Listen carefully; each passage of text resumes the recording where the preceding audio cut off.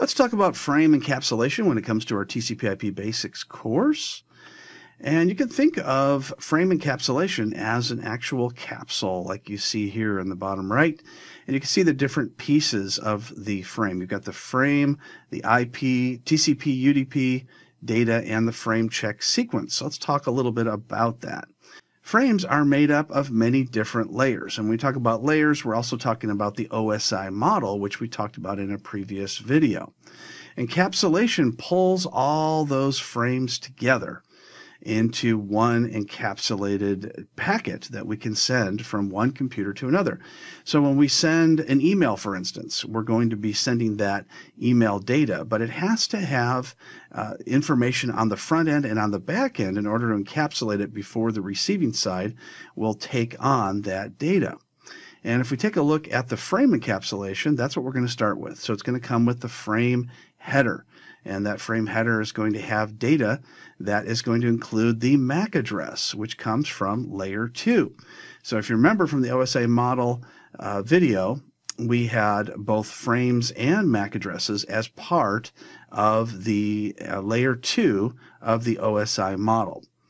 Next, we have the IP layer, which of course is at layer 3. So it's going to have the IP header it's going to have uh, the uh, also known as the packet itself, which comes from layer three, which is the network layer.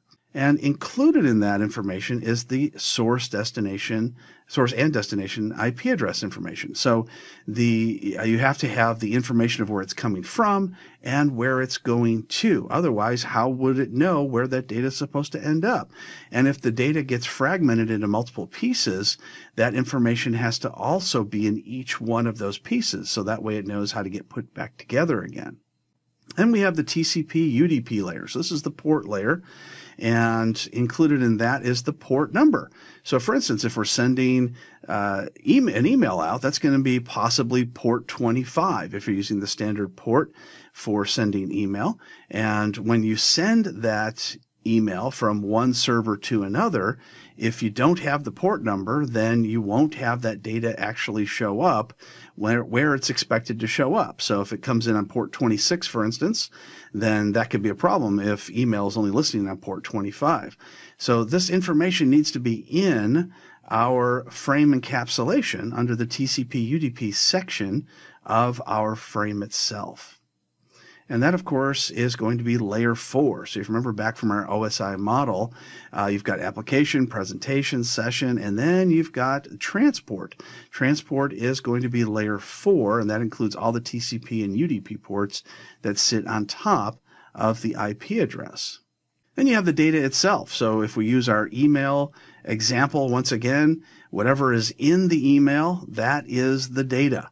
And that's being sent from one computer to another, or server to server, or client to server, whatever the case may be. So that data needs to be sent, and it is the data that you are sending. And it's taken from the application layer, which is layer 7. So, for instance, you're sending an email from Outlook and it's going to an Exchange server, then that is going from the application layer from the program called Outlook. And finally, we have the frame check sequence, which we refer to as FCS, and that is once again at layer two. Well, that's interesting because the first part of this encapsulation was the frame from layer two.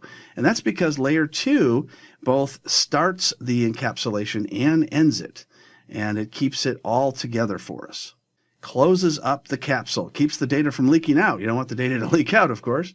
And uh, so that's uh, the ending part of our encapsulation, which is the frame check sequence. So, what does the frame check sequence do? Well, it refers to an error detecting code. So, it detects errors that uh, could be sent in a frame in a communications protocol.